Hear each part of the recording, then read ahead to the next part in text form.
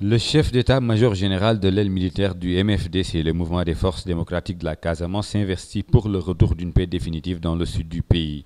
En effet, dans une déclaration rendue publique par la télévision nationale, Ousmane Nyantan Diata invite ses camarades du maquis à déposer les armes pour un troisième cessez-le-feu qui devrait déboucher à des négociations sincères et justes entre le gouvernement du Sénégal et le mouvement rebelle de Casamance. Dans ce communiqué, le chef rebelle affirme qu'il n'y a jamais de guerre